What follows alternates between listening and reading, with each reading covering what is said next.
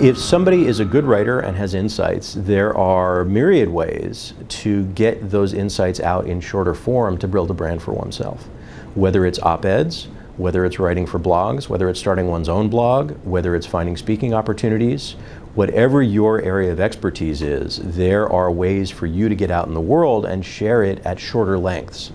And over time, what that's going to do, beyond just the straightforward networking, which is always valuable, it's going to start to help you hone your thinking for audiences, and it's going to help you um, spread the word in short form.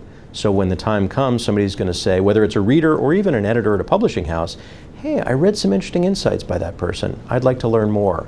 And they're that much more open to reading the full book proposal or buying a book if that's what's out.